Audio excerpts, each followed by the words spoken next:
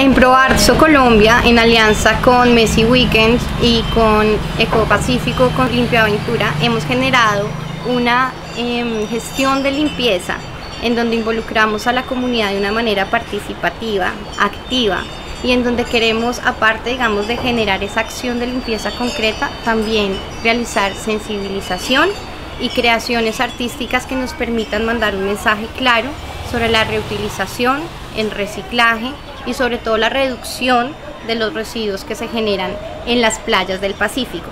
Una jornada de limpieza donde vinieron aproximadamente 70 voluntarios de todas partes de Colombia.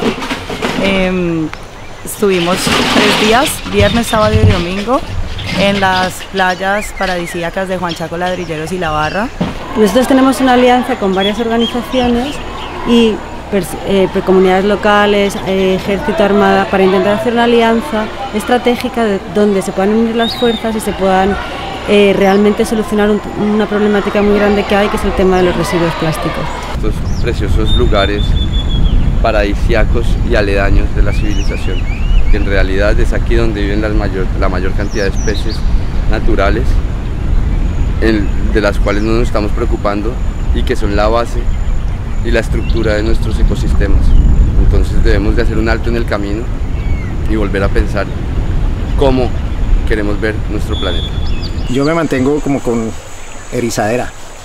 Cada vez que veo a alguien que está comprometido, que se bajó de la lancha, los muchachos, el conductor de la lancha vio que ya nos pasamos y no podemos coger la, no pudimos coger la botella, pero él se bajó y fue y la cogió.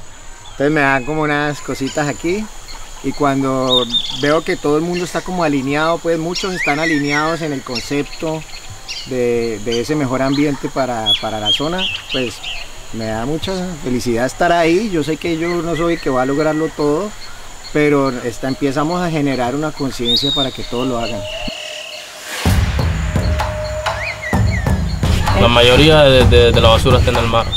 Eso uno lo encuentra en hilero, uno encuentra un hilero que pasa así largo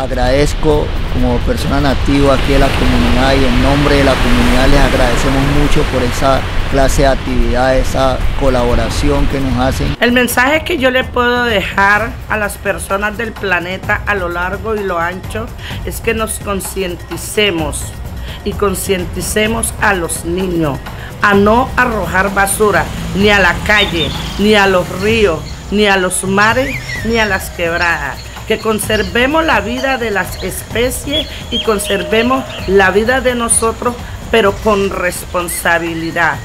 Y a las industrias a nivel nacional e internacional que ayuden donde ellos mandan sus desechos para que la gente no muera ahogado en los plásticos como está en muchas partes, no solamente de Colombia, sino de Estados Unidos, que usted ve hileros de basura de plástico, para que las caguamas, los pescaditos no se coman como digo, ese plástico pequeño. Entonces sería muy importante que en vez de ese plástico sea cartón biodegradable para que la gente pueda utilizarlo.